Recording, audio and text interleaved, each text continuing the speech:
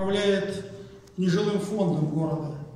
Э, этот фонд э, составляет миллионы квадратных метров, десятки тысяч помещений.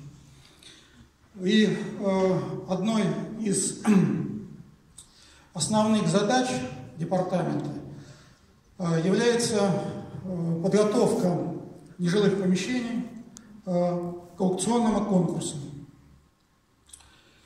Департамент городского имущества является не только органом исполнительной власти, но и э, крупнейшим участником э, рынка недвижимости, открытого рынка недвижимости.